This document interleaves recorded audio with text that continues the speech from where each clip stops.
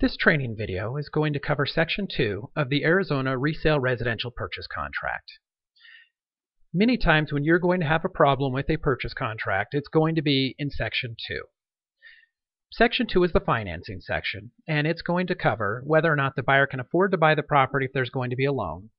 And the seller obviously thinks this is important because they want to know that they're going to be able to close escrow. Line 54 of the purchase contract is going to cover the pre-qualification form.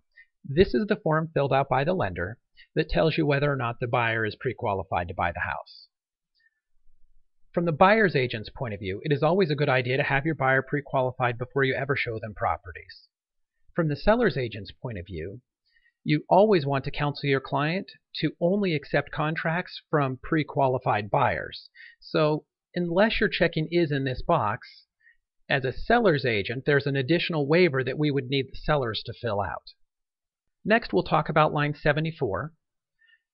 As we've already advised you to have a pre-qualification form, look at the pre-qualification form. It will tell you what type of loan, conventional, FHA, VA, USDA, that the buyer is obtaining. Simply check the box. Line 77 and 78, this is a common mistake area for licensees. 77 says, in addition to other costs sellers agree to pay herein, the seller agrees to pay X percent of the closing pri price or X dollars on the closing price. It is important as a licensee that you never fill both of these boxes in with a number.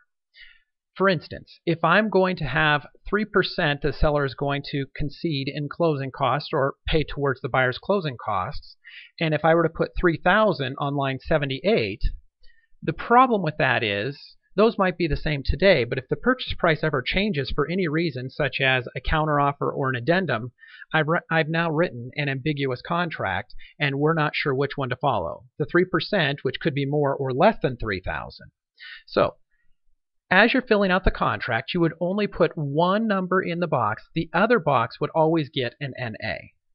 For instance, if I'm going to place 3% in line 77, on line 78, I would always place an NA. It's also important to remember in number boxes, you cannot place an NA until you press the space bar first. So press the space bar and then type NA.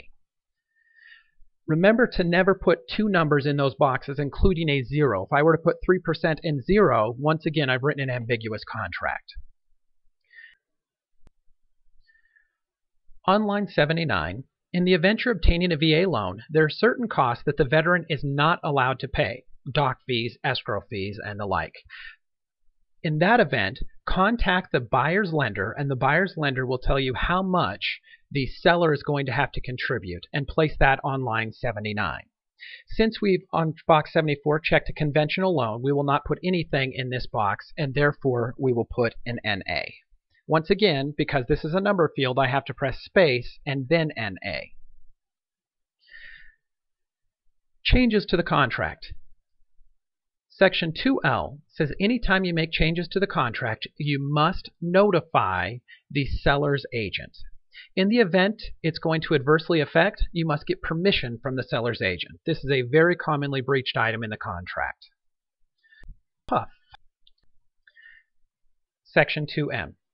In the event that the buyer is obtaining a loan, you can leave the appraisal contingency alone.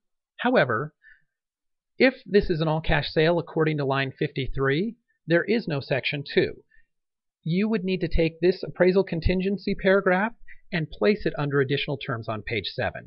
What you'll need to change is on line 86 where it says appraisal is required by the lender. Obviously there is no lender if this is an all-cash sale, so you'd put appraisal that is acceptable to the buyer.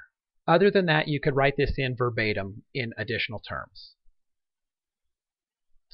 Next, the appraisal fee.